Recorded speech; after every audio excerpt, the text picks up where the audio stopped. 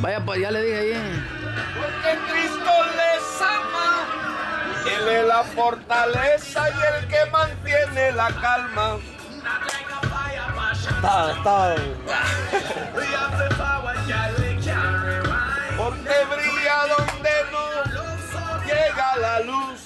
Ese es el Dios que yo predico. El mismo que me salvó. Que mantiene la calma donde está la maldad del ser humano.